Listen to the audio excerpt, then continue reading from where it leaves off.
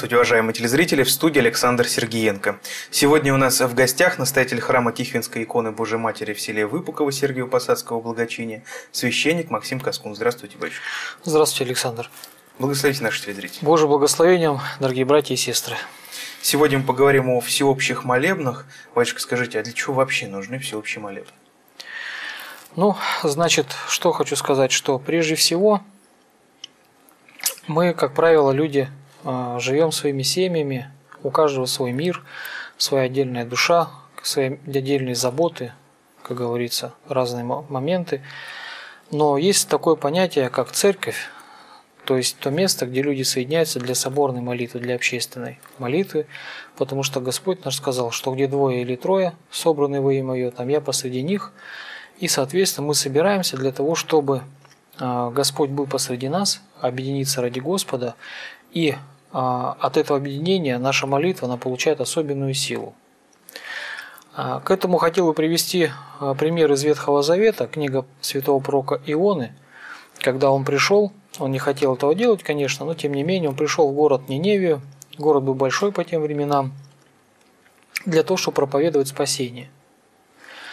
Люди грешили, безумствовали и никак не хотели исправляться. И он им сказал, что если вы не покаетесь, то через определенное время Господь город разрушит.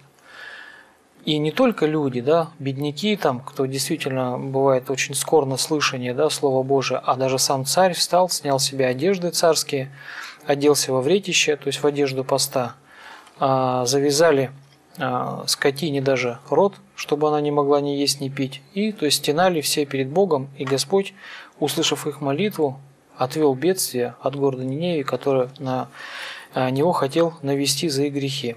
Поэтому всеобщее молебное а, стояние, которое будет 24 числа на праздник Вознесения Господня, то есть оно как раз и делается для того, чтобы а, люди как-то в определенной конкретной нужде объединились все и вознесли Господу молитву. Потому что что такое Ниневия? Да? Тогда это был город там, ну, 100 тысяч человек. А сегодня перед нами страна, где 100 миллионов человек с лишним, и которая также нуждается в спасении Божьем, и которая должна перед Богом вся, начиная от царя и кончая до последнего раба и скотины, встать и повиниться перед Богом. Для того, чтобы показать Господи, мы раскаиваемся в тех грехах, которые делали и которые делаем сегодня. Потому что очень модно вспоминать то, что было – как мы убивали праведников, царей там и прочее. А то, что сегодня мы с вами делаем, об этом почему-то все сегодня проповедники молчат. В том плане, что а, Россия погибает лишь только за то, что было. Россия погибает за то, что есть. И поэтому за те грехи, которые есть, мы должны, конечно, раскаиваться и просить Господа помощи, чтобы Он помог нам избавиться от этого. Если посмотреть, э, ну, может быть, такой некий анализ СМИ провести, то есть э, некие светские мероприятия, когда собираются много людей, да, называют сейчас митинги. И вот они очень широко муссируются, идет большая подготовка, набирается определенное количество людей. Мы уже посмотрели, прошло, прошли молебны а, православные а, по, в общем-то, по всей стране. И если говорить честно, то, а, грубо говоря, рекламы большой не было. Но людей собирается порядком, в общем, большое количество. Вот как можно это объяснить? Ну, по поводу, значит, светских митингов, люди, кто эти митинги организовывают, там мне лично знакомы, все там делается за деньги. Получил 200-300 долларов, да, привел столько-то людей, получил еще столько-то долларов. То есть все это делается за деньги. То есть особо там куда-то ходить, голосовать никто не ходит. То, что касается сегодня православных христиан, то я бы хотел бы выразить как бы свою позицию в том, что мы пассивны. То есть нас, когда мы приходим, кажется много, нас мало на самом деле. Мусульман собралось на праздник 80 тысяч, а нас должно собраться как минимум 8 миллионов. Просто как минимум. Потому что нас в 10 раз больше, чем всех мусульман в стране. Но этого не происходит, потому что мы спим. Никто не идет на молебные стояния, потому что всегда без нас справится. Что ходить, как бы все и так вот. А, и поэтому все-таки я считаю, что дай бог здоровья тем, кто активно ходит э, слышит церковный призыв, кто действительно имеет в своей душе э, внутреннюю духовную потребность и понимание, что э, его не просто как бы э, участие, да, а его молитва важна перед Богом. Потому что мы идем на митинг, почему? Потому что, э, допустим, ну что мы там скажем, да? Кто нас там увидит, да? А на соборное моление там идем для чего? Для того, чтобы предстать перед Господом со всеми. И, соответственно, после этого, когда человек не идет, он находит себе отговорки какие. Ну а что я там буду стоять? Там без меня народу хватает. А на самом деле это здесь как раз важно не именно присутствие как присутствие, да, а присутствие как молитвенный голос, как еще одно обращение к Богу от людей – Обязательно ли для этого собираться в одном месте, или можно просто в то же время вот э, за домашней молитвой со всей семьей участвовать? Ну, место – это есть как бы некоторая дисциплинарная такая вещь, которая как бы структурирует все собрание. Допустим, ну, если в той же Ниневии, когда пророк пришел, царь стал со своего места, с царского, да, то есть и, конечно, все вышли на площадь. А тот же Васильевский спуск там, или площадь около храма Спасителя – это то место, допустим, определенное, где люди должны а, конкретно собраться, где должны быть а, предстоятели перед Богом. То есть главные э, лица, которые должны возносить молитву а, перед Господом. И, конечно же, те, кто не может приехать, и находятся там далеко, безусловно, не могут поддержать молитвенно на расстоянии. Это, безусловно, нужно делать. Но, тем не менее, само место, к которому народ должен стекаться, да, оно как бы выражает а, некоторую такую вот, с одной стороны, дисциплину, а с другой стороны, должно показать а, народное вот именно стремление. Потому что само место, оно как показывает, а сколько людей пришло. Так все лежим на диванах, да, и непонятно вообще, молится ли кто, не молится. А здесь все сразу становится видно, что если народу приходит больше, значит сознание людей пробуждается. Если народу пришло мало, ну, значит мало. Ну и, конечно же, при организации молебнов э, сталкиваются люди с определенной долей скептицизма. То ли это до, то ли это во время или после проведенного молебна. Вот слышится со стороны, причем очень ярко слышится, всевозможные негативные отзывы. Вот можно ли как-то объяснить, как на них реагировать? Ну, я бы вообще не рекомендовал бы ни на что реагировать, потому что у святых отцов есть замечательное золотое правило. На все отвечать одинаково, молчанием. Оскорбляют ли тебя, хвалят ли, Отвечай одинаково, молчанием, то есть не обращай внимания для того, чтобы не развивать в себе тщеславие, чтобы ограничивать его воздействие, потому что именно тщеславие ищет как говорится, взоры, обращающих на тебя, хорошо ли или худо. Если худо скажет, то оно скорбит.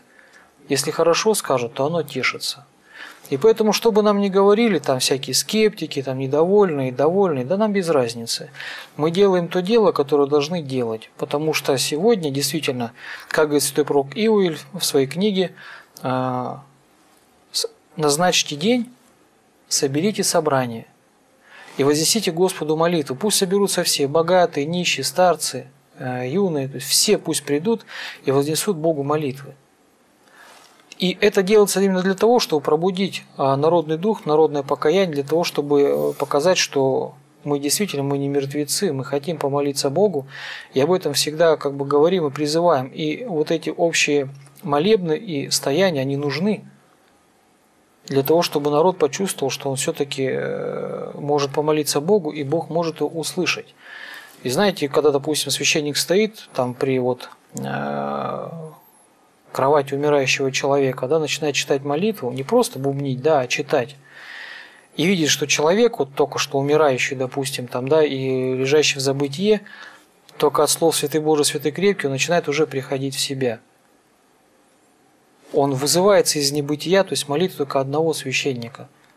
А когда много епископов, священников, то есть прихожан, всех верующих людей, это, это какая сила? Она может из небытия а, вызвать а, такое воздействие, такое пробуждение народного сознания, да, которое даже и никому не представляется. Поэтому многие недовольные сегодня специальные, как говорится, плачутся, потому что им не хочется.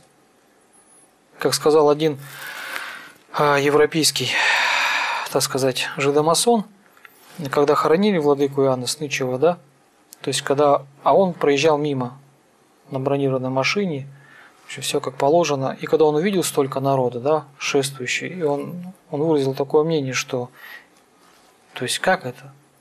Казалось бы, там вот, вроде, если церковь имеет влияние на народ, то надо это влияние ограничить, иначе мы ничего не сделаем.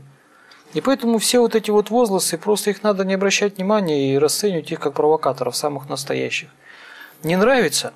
Сиди дома. А нам нравится, мы хотим это делать. Чем всеобщие молебны отличаются от обычных молебнов? Значит, есть молебен как частная служба. То есть человек может вызвать или позвать батюшку к себе домой и послужить молебен для семьи, для конкретного дела, допустим, молебен о недужном, там, или молебен на освящение дома, там, водосвятный молебен. Все это, в общем, может происходить. То есть человек молится по своей конкретной нужде. А всеобщий молебен – это общая нужда. И, соответственно, когда бывали в стране, допустим, война, собирается всеобщие молебны происходит, потом засуха. То есть, или какие-то всеобщие бедствия, да, тогда, соответственно, собираются люди на всеобщий молебны для того, чтобы остановить беду или благодарить Господа за а, всеобщее какое-то вот победа, да, над врагом. Конечно, служится всеобщий благодарственный молебны, потому что ну, все радуются. Потому что Господь явил спасение всей стране, а не только отдельно ну, каждому человеку. Поэтому в этом и есть отличие. Говоря про отличие, у нас есть вопрос из социальной сети, задает его Кристина из Московской области, город Раменская. Скажите, э, пожалуйста, есть ли разница между благодарственным и водосвятным молебным? Разница, собственно, есть э, в самом чине. Но, я как понимаю, вопрос заключается в том, что люди, подавая записки в храме, пишут благодарственный молебен о болящих, там, о здравии, такому-то святому. А молебен служится все время один и тот же. Потому что в храме после литургии служится общий молебен, так называемый, в котором поминаются и все святые, и Господь – это общий молебен. Но туда же добавляются записки благодарственные Господу, и, соответственно, поются особые тропари Спасителю, Божьей Матери, всем святым, для того, чтобы, как говорится, от лица этого человека поблагодарить. А если уже конкретно говорить о молебне, то если особый благодарственный молебен, который служится, как правило, после литургии его не служат, его служат частным образом. Допустим, батюшка приезжает кому-то домой, и семья служит благодарственный молебен. Там уже, соответственно, другие молитвы. Он немножко построен а, по другому чину. Также водосвятный молебен, он состоит, а, как говорится, из других молитвословий, которые направлены на освящение воды. И поэтому водосвятный молебен, он все-таки сконцентрирован больше на том, чтобы вода была освящена, и он немножко по-другому чину происходит, то есть там уже не поминается. То есть, ну, есть, конечно, некоторые бачки, которые объединяют, но, как правило, водосвятный молебен, он идет без упоминания святых, а просто поются э, тропари, посвященные, то есть особые молитвенные песнопения, посвященные а, освящению воды, и, собственно, это действие, таинство совершается. У нас есть звонок и Тюмень на связи. Здравствуйте, в эфире, говорите, пожалуйста. Алло. Здравствуйте. Здравствуйте. Добрый вечер, ведущий, батюшка. У меня вас беспокоит Тюмени. У меня вот такой вопрос. Я хочу бы вот, чтобы вы мне разъяснили апостола Павла. Вот здесь мне не, не как-то непонятно очень. К Ефесянам, глава 6, стих 11 и 12.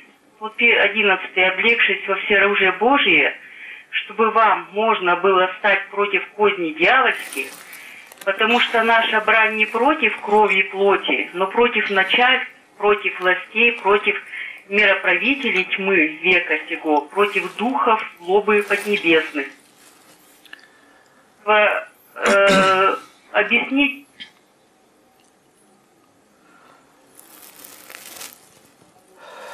Так, связь прервалась, да? Поэтому, ну, что, собственно, объяснить то есть в чем заключался вопрос. Но здесь говорится конкретно о том, что наша брань у христиан, в общем-то, заключается именно против бесов, против духов злобы, который, безусловно, существует. То есть никто из христиан не должен э, вести брань, ненавидеть, э, ругать э, других людей, то есть равных себе.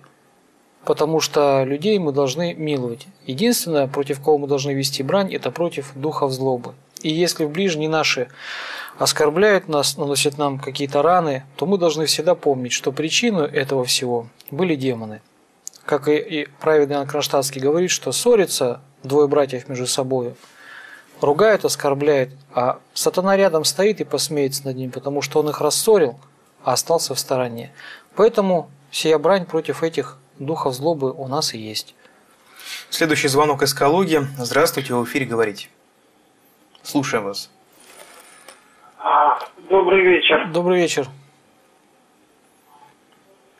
У меня вопрос такой. Вот, проводятся ли всеобщие молебны а, в Европе в православных храмах и в автокефальных э, церквях Европы э, православных тоже автокефальных церквях? Всеобщие молебны, э, как говорится, скорее всего, вот как у нас в России они так, наверное, скорее всего, не могут происходить, потому что в Европе совсем другие законы. Там это происходит, конечно, немножко по-другому, потому что там сразу э, лжедемократы скажут, вы ущемляете совесть гомосексуалистов, совесть атеистов, совесть мусульман, совесть сатанистов, еще разных многих людей перечислит, которых совесть мы ущемим, если выйдем на всеобщее молебное. Поэтому официально там, конечно, это все запрещено. У нас, слава богу, в стране пока еще не так.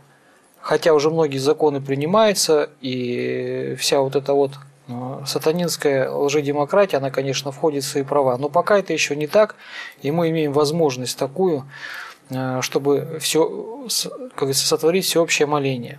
Хотя наши братья, которые находятся за границей, они, конечно, а, в это же время, безусловно, соединяются с нами в молитве, служат частные молебны в своих храмах для того, чтобы поддержать а, нашу с вами страну и нашу церковь. Следующий вопрос социальной сети, некое продолжение про скептицизм. Михаил из Москвы спрашивает. Сейчас говорят о молитве, о вере, но как говорить о вере, если даже по словам Алексея Ильича Осипова молитвы толком нет? Батюшку служит а, батюшка служит службу, певче поет, а мы стоим. А кто молится тогда? И все эти митинги я считаю неверой. А, понятное дело, что а, Алексей Ильич об этом говорит, он говорит не о том, что это поголовно, как говорится, происходит. Он говорит о том, что молитва ослабевает у людей. Его мысль в этом случае такова, потому что я, как говорится, много лекций его прослушал, поэтому могу сказать, что он имеет в виду, что именно здесь проявляется слабое внимание, слабое молитвенное горение.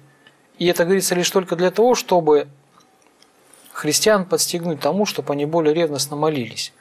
А на самом же деле, а, когда люди собираются на всеобщее молебное а, стояние, то это как раз и есть проявление веры людей, проявление их молитвенного горячего а, возношения Господу. Потому что, когда человек стоит в окружении многих подобных себе христиан, и у них одно прошение на устах Господи «Спаси страну, помоги России», то, безусловно, эта молитва есть проявление веры человека его духовных устремлений.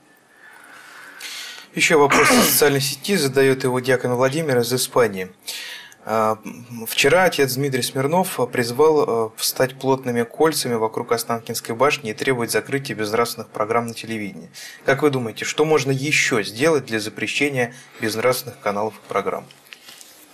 Думаю, если мы встанем даже в 80 колец, вообще ничего не поменяется.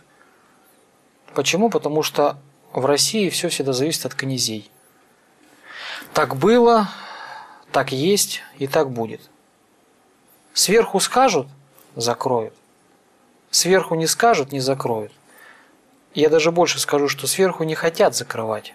Почему? Потому что все вот эти развратные программы, они нужны сегодня правительству для того, чтобы народ держать во тьме, в разврате, в дебилизме. Ведь посмотрите, сам президент приехал в Comedy Club и даже с ними танцевал. Это о чем говорит? Что в стране очень много проектов, на которых у президента не хватает времени, насущно важных для страны и военных, и политических, и прочих. А на Comedy Club время находится. Почему? Потому что это стратегически важный проект для нашего государства. Поэтому хоть сколько мы колец с вами сегодня поставим, это ничего не даст. Нужно молиться за наших правителей, чтобы Господь вразумил их, и наконец-то, чтобы хоть один из них по-настоящему стал православным.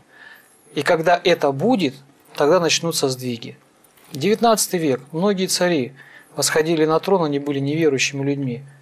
И масонами были. Но спустя годы они приходили к пониманию, к покаянию и круто меняли правление страной, и действительно были положительные плоды. Поэтому надо молиться об этом, чтобы Господь даровал нашим правителям веру. Я думаю, что это будет более правильный путь, потому что ничего этого не изменит. Страна идет по тому пути, по которому ей предписано идти. И пока те, кто предписывает, это предписывают, ничего не поменять. На молебных предстоящих э, и, в общем-то, тех, которые уже прошли, то, о чем молятся люди, всегда одно и то же или как-то меняется? Ну, конечно, на молебнах всегда все-таки, как говорится, одно и то же – это всеобщий дух покаяния. Что, как говорится, вся страна перед Господом стоит и просит Бога прощения о том, что мы сделали. Это важно. А, конечно, конкретно каждый молебен он несет, безусловно, допустим, свою какую-то смысловую нагрузку. В данном случае вот э, в четверг будет молебен, посвященный э, Дню славянской письменности. То есть, э, то есть он как раз более направлен как бы на русский такой вот какой-то оттенок.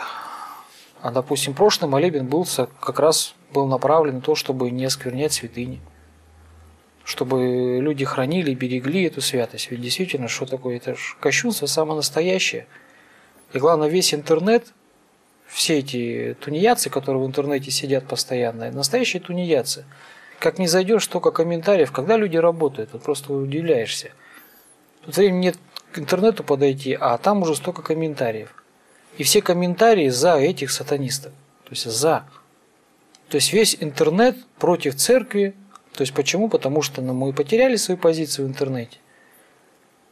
И потом патриарх призывает всех нас, чтобы мы в интернете были активны. Посмотрите, э, возьмите любой ролик святейшего патриарха, там, не знаю, еще какого-то церковного проповедника, там не только кощунство, там и маты, и перематы, там такие оскорбления, и ни одного православного комментария. Но ведь также нельзя на тоже активную позицию занимать в этом смысле. Почему мы думаем, что а там пусть они комментируют, мы вмешиваться не будем? Надо все равно вмешиваться. И чем больше, тем лучше. Тогда не совсем понимаю, в какой момент нам нужно отвечать молчанием. В какой момент? В смысле? Если отвечать молчанием на а, поругание или на хвальбу. А Нет, вот... когда идут здесь, когда, допустим, это относится когда лично к нам. Если лично к нам идет какое-то отношение, мы должны отвечать молчанием. А если ругают церковь, там, святейшего патриарха, там, какого-то священника, там, еще там кого-то, должен заступиться за честь церкви. В этом смысле ты для себя ничего не приобретаешь и ничего не теряешь в смысле э, грехов, потому что это к тебе лично, это тебя не задевает. Его оскорбили, он молчит, да, все правильно, потому что он должен так делать. Ну а мы-то должны встать на защиту. Мы-то должны сказать, что вы не правы, Говоря об активности людей, можно ли сказать, что молебн это только проверка активности или это все-таки э, некий вот такой катализатор? Это катализатор, это то, что пробуждает. И эти молебные стояния, знаете, вот, как говорится, давно еще на лекции библейского кружка мы проходили как раз малых пророков, изучали вот э, книгу пророка Иуля, где он призывал еврейский народ для того, чтобы они собрались на площади и вознесли всеобщее моление – и такие мечты были, думаю, почему же все-таки, вот, как говорится, никто не делает этих общих молебнов? Ну почему? Как, когда же? То есть вот нету какой-то общая беда, проблема, все как-то вот делается порознь. А тут вот Святейший Патриарх пришел, и эти молебны стали происходить, и это только начало. Я думаю, все это будет дальше продолжаться и развиваться, и умножаться, потому что тоже народное ополчение Минина и Пожарского, оно откуда возникло-то? Оно как раз возникло из того, что люди все-таки почувствовали, что надо объединяться, надо делать рывок. И какой рывок-то был? Победа. У нас есть э, даже, наверное, не вопрос, а крик души социальной сети. Сергей Потемкин э, э, говорит нам следующее. Что э, делать, э, если регулярно посещая храм, тем не менее ощущаешь себя гостем незваным? Ну, это какое-то искушение, то есть какая-то ложная мысль. Может быть, вы человек мнительный по своему характеру, может быть, какое-то вот а, бесовское обольщение такое, зацепившись за какое-то сомнение в душе, то есть враг постоянно навевает. То есть никакой человек э, в храме не является гостем. Господь всем рад. Даже если священник не всегда рад, устал, там, заболел, характер вредный, всякое бывает. Но Господь всем рад. Даже если бабушки вам не рады, которые утирают подсвечники, там, свечи убирает, Господь вам рад. Потому что Господь за каждого из нас страдал на кресте и всех нас не только друзьями назвал, но и сыновьями соделал. Поэтому Господь нам всем рад. Эту мысль надо гнать, потому что эта мысль есть грех. Против этой мысли надо бороться, а, просить Бога помощи, помилования, чтобы Господь прогнал эти нечистые мысли, а даровал нам мысли ясные, светлые, которые действительно приближают к Богу, а не отдаляют от Него. Илья из Санкт-Петербурга спрашивает, можно ли назвать молитвой молитву, исполняемую на распев в уме, например, молитву Иисусову, распеваемую по три раза во время панихиды? Конечно, можно. Святые отцы молитвы называют и чтение священного писания, и размышления о Боге, и даже беседы о Боге тоже называются молитвой, потому что молитва есть возношение ума к Богу, я бы даже проще сказал, вспоминание о Боге. То есть, когда мы помним о Боге, это уже есть молитва. И поэтому, соответственно, конечно, любое распевание, то есть молитвы, это, если человек получает от этого пользу и умиление, безусловно, это есть молитва, и если она приносит пользу, то надо ее продолжать, утешаться ей, потому что кто-то поет, кто-то читает, кто-то молится, а, кто-то просто сухо читает слова молитвы, пытаясь пробудить свое окаянное сердце. То есть у всех по-разному. То есть каждый должен понимать и видеть, если это приносит пользу и настраивает на благоговение, то нужно это не терять, а наоборот возделывать, приумножать, чтобы в душе было больше пользы. Игорь из Москвы спрашивает вот что. Вы затронули лжедемократию. Верите ли вы в возрождение православной монархии в России? А, возрождение православной монархии в России – это такое дело, знаете, как можно в это верить? Я верю в Бога. Конечно, я считаю, что при царе было бы лучше. Почему? Потому что я сам отец, у меня есть семья, есть дети, есть имущество. И знаете, я сам у себя не ворую. И все, что я делаю, я делаю ради своих детей. Так же и царь. Его страна, то есть наша страна, это его дом – который он передает своим детям. И царь у себя не ворует. В этом кардинальная разница между теми, кто приходит на 4-6 лет, и теми, кто передает это по наследству. Поэтому верить в это не верить хотелось бы. Если было, я поддержал бы всеми руками. Но, как говорится, может быть историческая перспектива уже ушла, хотя чудеса Божии, они действительно реальны. Следующий звонок из Липецка. Здравствуйте, слушаем вас, говорите. Здравствуйте, ведущий. Здравствуйте, батюшка. Я вот хотел задать вопрос.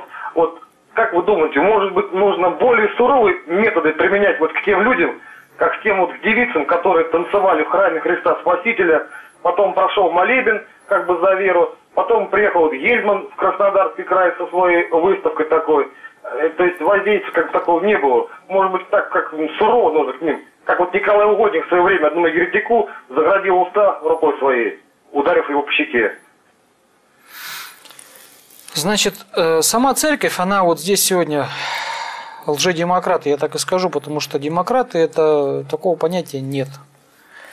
Есть только ложная демократия. То есть вот они как раз говорят о том, что церковь вот за то, чтобы этих девочек там посадили, там еще. Во-первых, это не девочки, это закоренелые проститутки извините за выражение, но это весь интернет об этом знает. Это люди, которые очень плохо себя вели и очень растленные они. И поэтому называть их девочками, да, язык даже не поворачивается. То есть это конкретные люди, которые пали. Так вот, что церковь как бы не хочет их простить, мы не хотим их не наказывать, не прощать. То есть тем более прощать кого? Тех, кто не раскаивается ни в чем. И в общем-то весь сырбор-то не в том, что они церковь и даже оскорбили, а в общем-то все это, это все это был политический памфлет, понимаете? Все эти люди, это все а, для того, чтобы было раскачать политическую ситуацию в стране. Поэтому их и посадили. Потому что если бы они просто бы осквернили храм, и не было бы там политической подоплеки, никто бы их не тронул. Поверьте, они бы никому не были нужны. Вон сегодня посмотрите, сколько в стране всяких самозванцев, оскверняющих святыню, а, обманывающих людей и прочего. Тот же Гробовой. Столько людей обманул, матерей Беслана, обещал детей воскресить. Никто его не трогал, никому был не нужен. Как только он подал свою кандидатуру в президенты, где он очутился? Правильно. Поэтому, как только все имеет политический момент, то и происходит. А вообще за кощунство, я считаю, надо давать высшую меру. То есть есть, допустим, 7 лет. Да, вот 7 лет и надо давать. Чтобы человек подольше посидел, потому что в этом мире, пока они живут, они ничего не понимают. У меня батчка знакомый занимается просто женщинами в колонии, то он как рассказывает, что пока они в тюрьме, они все еще такие на веселе. Их со свободы люди поддерживают, там, демократы им из-за рубежа э, всякие сказки рассказывают. Но когда говорит, они приезжают уже туда и понимают, что впереди 6-7 лет, все кардинально меняется. Человек приходит в себя и понимает, что все. То есть дальше некуда. Вот он конец, вот то, что ты нажил. И поэтому, конечно, строгое наказание за осквернение святыни, оно должно быть вменено сегодня в Уголовном кодексе, потому что осквернение кладбищ, разрушение крестов, там других памятников, все-таки могила – это святое место. Кладбище – это там, где человек, э, как говорится, вспоминает своих предков, отдает дань тем, кто его вскормил, вырастил. Это место, где нужно быть благоговейным – а там разрушаются памятники, неважно, кресты это или полумесяцы, или просто это монументы со звездами, неважно.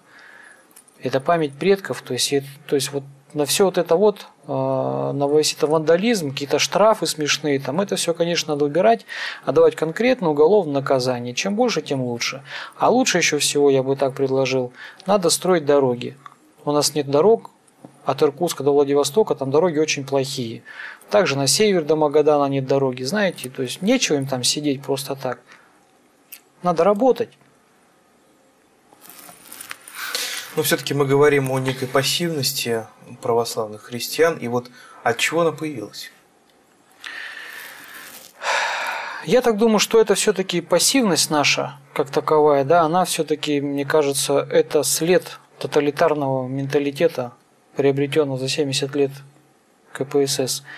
Потому что вот читаешь книги, значит, не только архипелаг ГУЛАГ, а Волкова того же «Погружение во тьму». То есть как ломали крестьян, да, вот крестьяне те, которые действительно, на которых стояла Россия, они просто, он там пишет, просто дохли как собаки. Некормленные, болящие все, семьями просто вымирали, вывозили их, они вымирали прямо на пересылках. То есть, а потом деревню населяли какими-то тунеядцами, там, бродягами, там, не пойми кем, да, и все вот это вот а, сгущалось, то есть страхом смерти. Рот открыл, расстреляли. Что-то сказал, расстреляли. Инициативу проявил, расстреляли.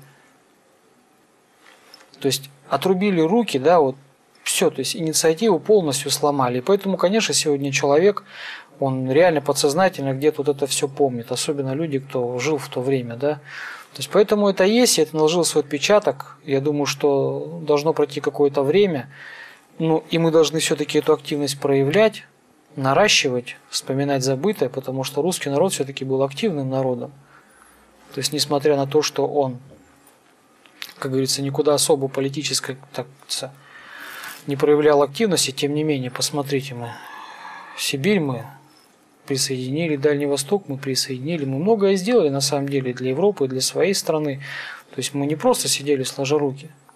У нас была вполне нормальная, умеренная активность, позитивная.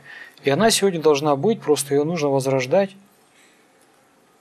А не существует ли искушение в этой активности переборщить?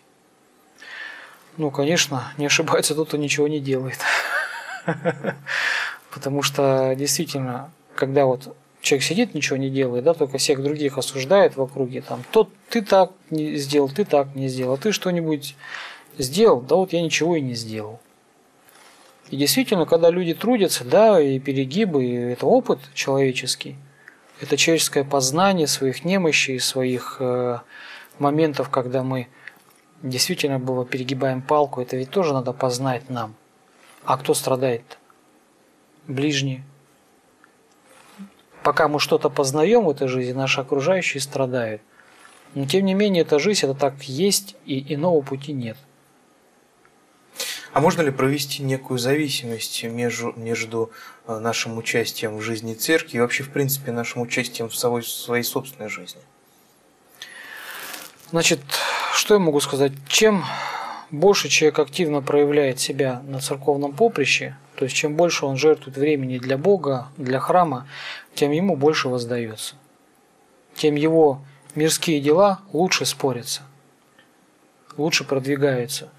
То есть это все знают об этом, что чем больше ты пожертвуешь для Бога, тем тебе больше вернется.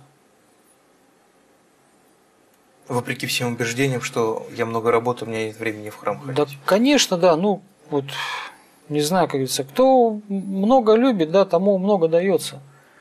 А кто все время как бы вот откусывает помаленечку так вот, Господи, вот чуть-чуть тебе вот времечко там дам, все там, фу, слава тебе, что нашел время свечку забежать поставить за неделю, да. То есть там по телефону трепаться часами, там еще что-то. Время у нас вот. А зайти в храм, помолиться, посвятить Богу там хоть 15-20 минут, именно живой молитвы, да, у нас времени нет. И действительно смотришь, вот, а, кто употребляет на Бога больше времени, думает о Божьем, да, думает о людях, что-то как-то. Видишь, у них в жизни все по-другому. У них даже если есть суета, но они светлые люди эти. Они не помрачаются грехом, потому что Господь их поддерживает. Это вот делание ради Бога, оно их светит. И как, конечно, безусловно, все связано. И лично, и божественно. Вот мне вот нравится э, в истории русской церкви, значит, когда Феофан Прокопович, который был советником императора Петра, то есть он когда встал на церковное поприще, конечно, много плохого сделал, то, что воплотил реформу Петра в жизнь, там лишили патриарха, а не церковь, там все прочее. Но время было такое. Было такое время, но мне понравилась его позиция, которую он для себя изначально выбрал. Он объединил свои интересы с интересами церкви. То есть у него не было своих интересов. Интересы церкви были его интересы. И действительно было очень много, он был труженик, много трудился и много успел, были позитивные, конечно, плоды того. Ну, было такое время, тут уже ничего не поделаешь, в общем-то. Говоря все-таки про всеобщие молебны, можем ли мы призывать своих знакомых пойти вместе с нами в том случае, если они не понимают, для чего это нужно? Думаю, что да. Потому что, а вдруг человек во время этой молитвы что-то почувствует или поймет? Даже человек, допустим, вот э, бывает так, что приходит в храм человек и ничего вообще не понимает. Ему там что-то рассказали, там он вообще все он забыл, ничего не помнит. Вот. Проходит год, и то впечатление, которое он получил в храме, да, вот это ощущение, оно начинает его звать. Оно начинает приносить плоды. Это семя, которое потом произрастает. Поэтому, конечно, если нам не без, как говорится, не безинтересна, то есть судьба нашей страны, да, то нам нужно приходить на всеобщий молебен для того, чтобы молиться Богу, просить Его, просить все вместе, для того, чтобы нашу страну Господь помиловал. Ведь в принципе весь мир сегодня, да, он уже скатился к тому греху, к которому скатился. В общем-то, Россия и мусульманский мир, да, в это дело не вмешивались. И вот сегодня как бы просто странно даже, что Господь нам дал освобождение от коммунистического ига для того, чтобы это ничем не закончилось, да? Хочется, чтобы все-таки вот это освобождение, вот эта вот свобода, которую мы получили, все-таки она была употреблена нашим народом для обретения чего-то духовного. для понимания того, как говорится, жребия, который выпал нашей стране. То есть и если мы духовно будем подходить к этому, то я думаю, что все-таки мы, как страна, как нация, мы все-таки объединимся, соберемся и как-то по-другому начнем смотреть на вещи, и в истории этого мира мы еще скажем свое слово, и оно будет, конечно, не последним. А как можно оценить, собственно, свои возможности во время самого молебна? Если будет так же, как вот э, возможное искушение, отвлечен мыслями, думаешь совсем о другом, или, собственно, первый раз, будучи на молебне, смотришь на то количество людей, которые вокруг тебя стоит? Вдруг не получится? Ну, каждый должен по своим возможностям, по своим силам. То есть в том-то дело, что невольник, он не богомольник, с одной стороны, а с другой стороны человек возносит Богу так, как он может вознести. Я же, допустим, не могу помолиться, как преподобный Сергий. Ну, не могу я. Ну, действительно не могу, потому что веры такой нет, да, такой молитвы нет, такого горения нет внутри. Ну, нету его. Ну, что я теперь, мне вообще не молиться? Да нет, Господь и мою молитву Богу услышит. Два-три слова, и от которых бывает получаешь умиление, там какую-то поддержку, да. То есть ты понимаешь, что Господь услышал. И поэтому каждый из нас а, в силу своей веры, да, в силу своего горения должен молиться так, как может. Пускай он не получается, оно это, пускай оно, как говорится, идет как-то косо, с мыслями, с отвлечениями. Но надо делать. Потому что дорогу осилит идущий. А молитва дается молящемуся, у святых отцов сказано. То есть иного пути приобрести молитву и понять ее, да, и нету. Молитва дается молящемуся. Молись, получишь молитву. Не будешь молиться, будешь лежать и мечтать о том, что когда-то она появится, когда-то придет внимание, умиление. Никогда. Только молиться. И молитва научит нас всему, говорит святитель Игнатий Бринчанинов. Что является ориентиром в организации молебнов и будут ли они продолжаться еще? Молебны продолжаться будут, я просто уверен. Ориентир является, это, конечно же, я так думаю, это национальное пробуждение – то есть это та причина, к которой Святейший Патриарх идет и много делает для этого. И мы должны все его в этом поддерживать и со своей стороны каждый носить а, лепту в это благое дело. Потому что пробуждение самосознания русского человека, да, это многого стоит. То есть, когда человек проснется, он будет самостоятельным. И уже сам пойдет к Богу на крепших ногах. Сейчас же, конечно, ну, русский народ спит и дремлет, он пока еще не проснулся. То есть идет как бы второе крещение Руси сегодня, по мнению патриарха Алексея II. И этот процесс надо, конечно же, поддерживать всеми силами, как можем. У нас есть вопрос из социальной сети, который напрямую не связан с темой, но тем не менее человек просит, чтобы мы его задали. Вадим из Ростова-на-Дону спрашивает. А, у знакомой родился внук, но младенец умер через три дня. Его не крестили, даже не успели дать имя. Подскажите, пожалуйста, как в таком случае поминать младенца? А, значит, что касается имени, то и поминать его нужно, то есть так, как имя, имя ему нужно дать, как родители ему дают имя, потому что э, чин наречения имени он производится э, перед крещением в особом чине, да, и, соответственно, если это не успели сделать, тогда просто, как вы считаете, нужным его назвать, так и нужно его назвать, честь какого-то святого, допустим, и так и молиться. Что же касается некрещенных младенцев, то по мнению многих древних святых отцов, именно православных, восточных, они наследуют Царствие Небесное. Я этой точки зрения придерживаюсь, сам в это верю и считаю, что младенцы, которые не делают осознанных грехов, они, конечно же, идут э, в рай и находятся с Господом. Потому что Господь не судит за чужие грехи, а своих он еще не сделал. Да, он наследовал смертную плоть от Адама. Она греховная, эта плоть. Она заражена грехом. Но сам ребенок еще, конечно же, ничего не сделал. И поэтому он, безусловно, а, я так думаю, что прощен Господом. И, в общем, надо просто за него молиться. В церкви, конечно же, как христианина его а, не помянешь. Хотя вот интересная вещь, а, казалось бы, вот церковь есть дело общее, да, а есть еще семейная церковь, домашняя. Так вот, когда в ней рождается человек, папа и мама крещены, они христиане, Папа, допустим, как говорится обычно, папа священник, мама диакон, дети служители, в общем, прихожане, да, в семье. То получается, когда рождается ребенок, он уже рождается в церкви. Даже если он еще и не крещен. Почему древние люди, христиане именно, не боялись не крестить своих детей? Многие святые отцы там были крещены в 30 лет.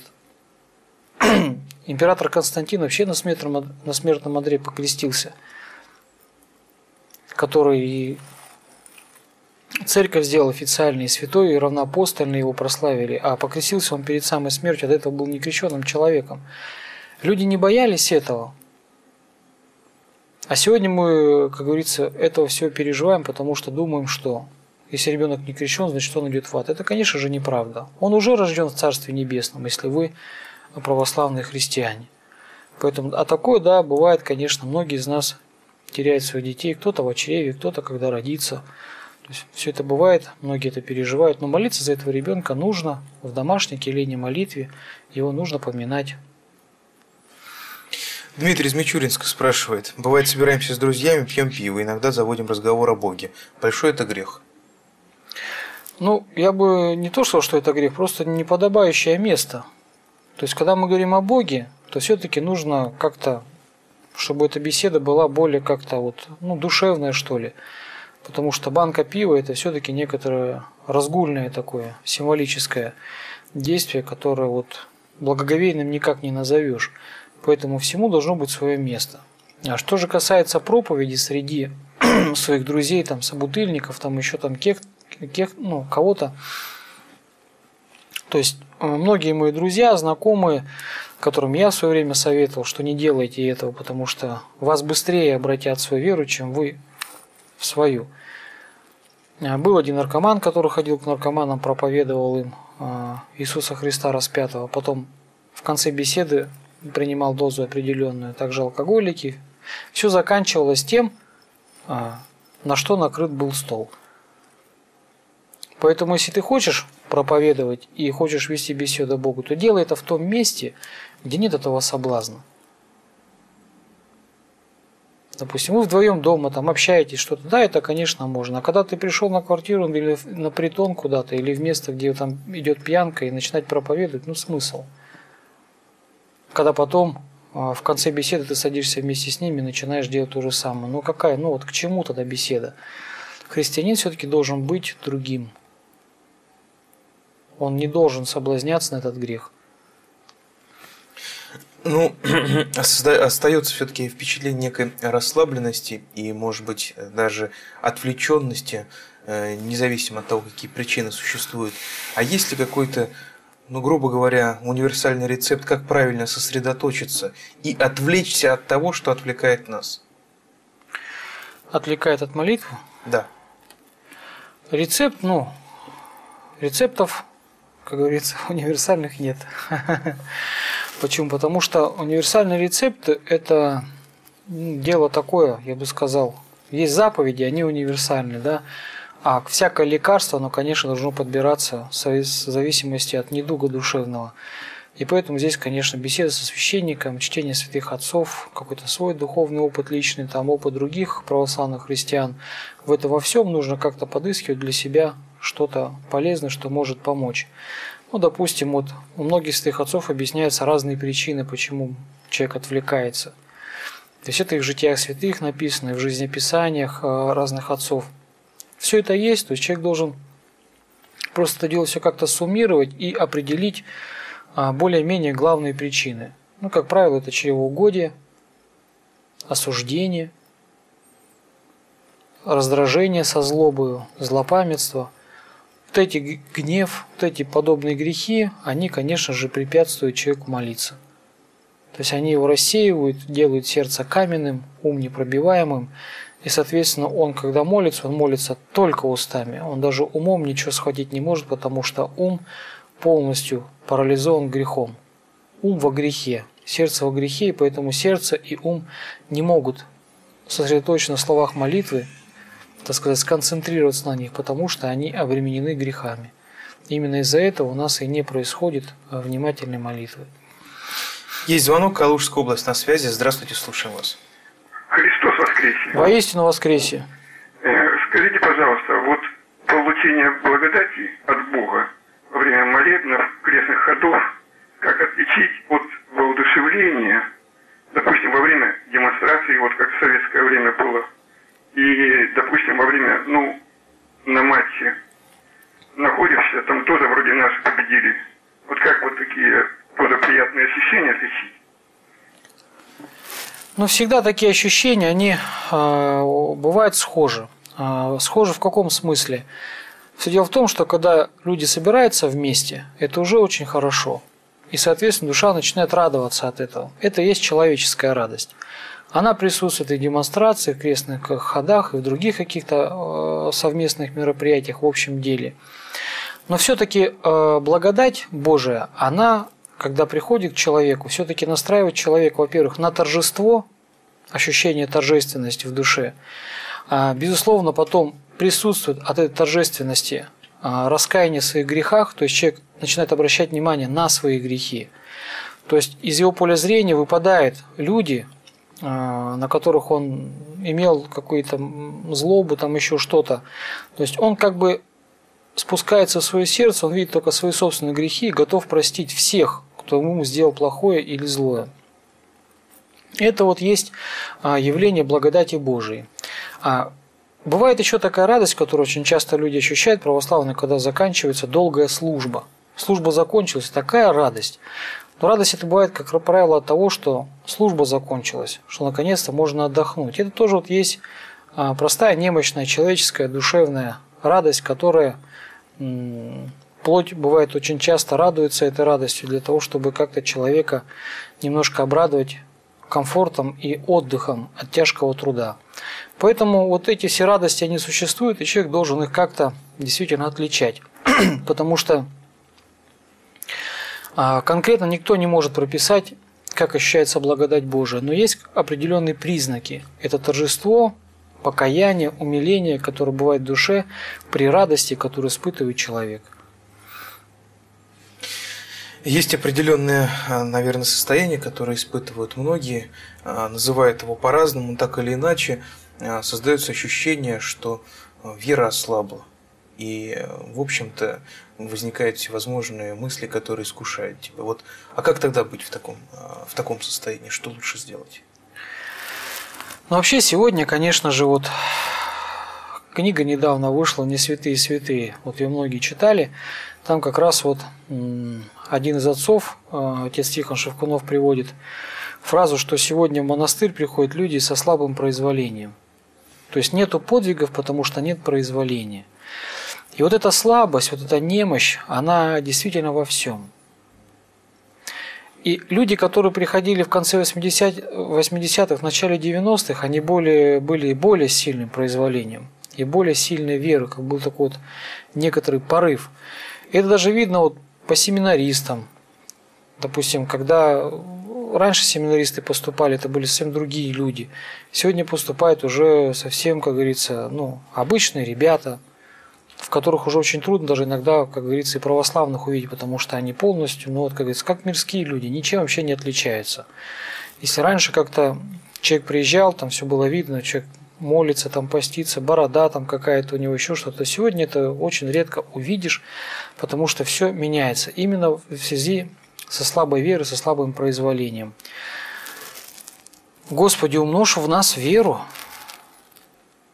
И усилием воли человек должен заставлять себя для того, чтобы пробудить в себе вот это волевое движение. Потому что воля наша, она укрепляется только от употребления ее. Если мы усиливаемся, употребляем усилия, то мы крепнем в своем волеизъявлении. Если ослабеваем, пропускаем, отступаем, то слабеем.